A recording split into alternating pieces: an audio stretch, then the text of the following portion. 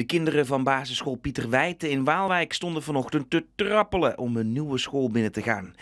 Drie jaar geleden ontdekte de GGD dat het klimaat in de school ronduit slecht was. Het was er veel te vochtig en het tochtte. Toen ehm, had ik last van eh, mijn ademhaling als ik in de aula zat.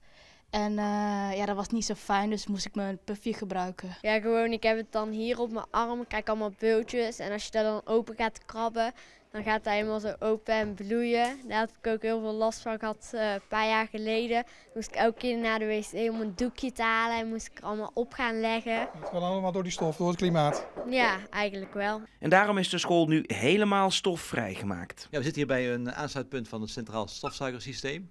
Dit is een speciaal punt, want hier kunnen de kinderen ook zien dat het stof echt opgezogen wordt naar de centrale ruimte. Verder ligt er stofwerende vloerbedekking in de klasse en er hangen stofvrije lampen. De verbouwing heeft bijna 7 ton gekost, maar dat is het volgens de directeur wel waard. Wetenschappelijk is bewezen dat wanneer er goed klimaat is in de klas, die hersentjes ook beter werken. En we gaan er dus nu vanuit dat onze, onze resultaten alleen maar beter worden. Alleen alleen daar al door. Maar goed, daar hoort ook goed onderwijs bij en dat hebben we ook gerealiseerd.